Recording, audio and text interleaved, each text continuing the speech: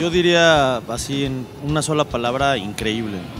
Eh, fue tal cual, ¿no? Como lo que decías hace un momento, público entregado, prendido, este, con ganas de rock and rollear.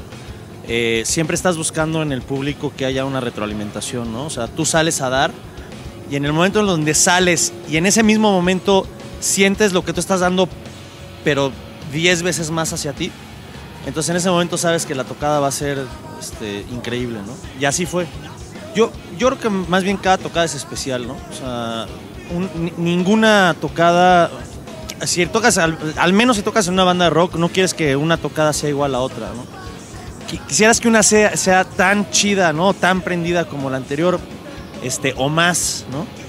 Pero, pero nunca quieres que sea diferente. Entonces, más bien, pues son tantas tocadas y son tan diferentes todas que la respuesta es quién sabe. Pues sí, sí, el que provoque slams. Eh, no, el, fan perfecto para motor, pues es el que salta, el que arma un slam, el que grita las rolas, el que se desahoga de, todos sus sentimientos al estar eh, escuchando a la banda. Ese es el, el fan perfecto para nosotros.